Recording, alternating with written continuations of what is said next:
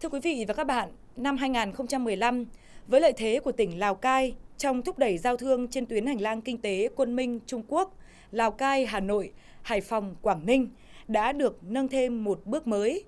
Ngành công thương của tỉnh đã đặt mục tiêu và kế hoạch triển khai các hoạt động tận dụng cơ hội, phát huy hiệu quả hơn vai trò cầu nối của Lào Cai trên toàn tuyến,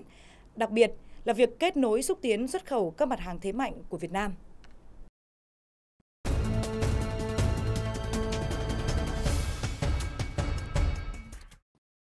Sở Công Thương tỉnh Lào Cai cho biết thời gian qua, những diễn biến trên Biển Đông tác động không nhỏ tới phát triển kinh tế cũng như hàng loạt các hoạt động giao lưu thương mại xuất nhập khẩu qua cửa khẩu của Lào Cai. Tuy nhiên, do tỉnh cũng như ngành công thương chủ động tích cực nắm bắt tình hình, phối hợp với các ngành liên quan đẩy mạnh giao thương, xúc tiến thương mại, nên tổng kim ngạch xuất nhập khẩu qua cửa khẩu trên địa bàn tỉnh Lào Cai năm 2014 vẫn đạt 1 tỷ 654 triệu đô la Mỹ, Thời gian qua thì ủy ban à, Sở Công Thương, ngành công thương chúng tôi cũng tổ chức nhiều cái hoạt động xúc tiến. Ngay từ đầu năm thì chúng tôi cũng đã chủ động tổ chức các cái buổi gặp gỡ doanh nghiệp, à, tham gia ờ, những cái buổi hội đàm làm việc với phía Hà Khẩu để nắm bắt được cái ờ, tâm tư, nguyện vọng cũng như là nắm được những tình hình, những khó khăn vướng mắc, những cái thuận lợi và những cái đề xuất giải pháp của các doanh nghiệp. Có thể nói, từ khi tuyến đường cao tốc Hà Nội Lào Cai hoàn thành, vai trò của Lào Cai trong tuyến đường hành lang kinh tế Côn Minh, Lào Cai, Hà Nội, Hải Phòng, Quảng Ninh ngày càng trở nên rõ nét. Để Lào Cai trở thành cầu nối quan trọng thúc đẩy xuất khẩu hàng hóa của các tỉnh thành trong cả nước sang thị trường rộng lớn và nhiều tiềm năng của tỉnh Vân Nam Trung Quốc nói riêng và khu vực Tây Nam Trung Quốc nói chung, một trong những hoạt động xúc tiến thương mại được đánh giá cao đó là được sự nhất trí của Bộ Công Thương, Ủy ban Nhân dân tỉnh Lào Cai, Sở Công Thương tỉnh Lào Cai đã chủ trì phối hợp với Ti Thương vụ Vân Nam Trung Quốc tổ chức hội nghị kết nối xúc tiến xuất khẩu nông sản, thủy hải sản và đồ gỗ thủ công mỹ nghệ lần thứ nhất năm 2015 tại thành phố Lào Cai. Tại đây, 250 đại biểu đến từ hai nước đã được ban tổ chức cung cấp nhiều thông tin về cơ chế, chính sách xuất nhập khẩu qua cửa khẩu giữa hai tỉnh Lào Cai Việt Nam và Vân Nam Trung Quốc. Đặc biệt là gần 50 doanh nghiệp Việt Nam đến từ các tỉnh Lào Cai, Nam Định, Thái Bình, Bắc Ninh, Bắc Giang, Hải Phòng, Bình Thuận, Thành phố Hồ Chí Minh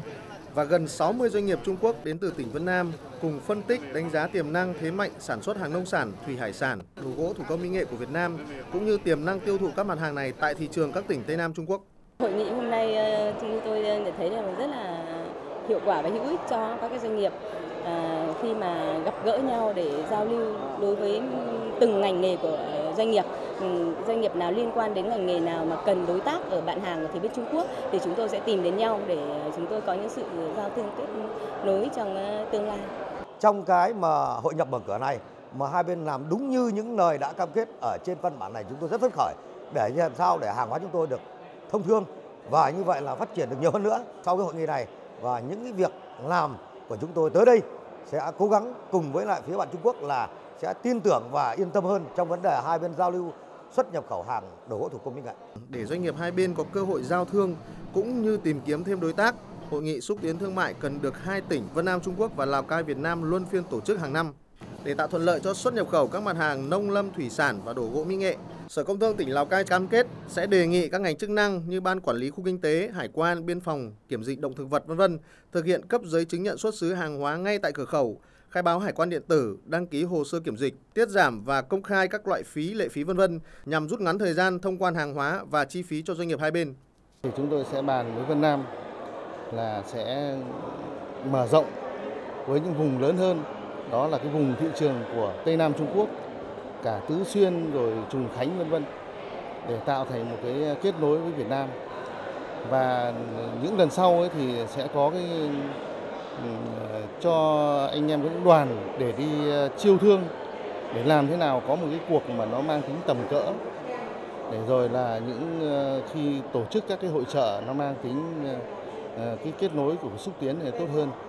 Cùng với môi trường đầu tư kinh doanh thông thoáng, thuận lợi, hấp dẫn, việc tổ chức nhiều hoạt động xúc tiến thương mại đa dạng sẽ là những động lực cho các hoạt động xuất nhập khẩu hàng hóa qua Lào Cai trong những năm tiếp theo thêm sôi động. Nắm bắt cơ hội mới, ngành công thương tỉnh Lào Cai đã đặt mục tiêu phấn đấu tổng kim ngạch xuất nhập khẩu qua các cửa khẩu trên địa bàn đạt 2 tỷ 200 triệu đô la Mỹ trong năm 2015 và tăng 33% so với năm 2014.